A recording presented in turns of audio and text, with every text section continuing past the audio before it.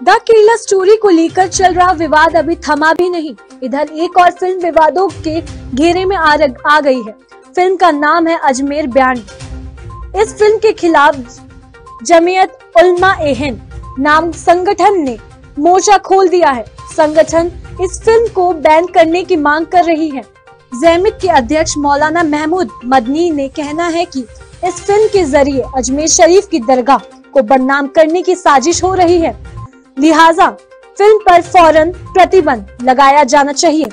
अजमेर में सालों पहले सौ से ज़्यादा स्कूल की लड़कियाँ को ब्लैकमेल कर उनके देश शोषण की कहानी इस फ़िल्म में दिखाई जा रही है। बताया जाता है कि इस केस का खुलासा तब तक हुआ था जब तक कलर लैब ने गर्ल्स का नग्न तस्वीरें छापी और उनके वितरित करने में मदद की।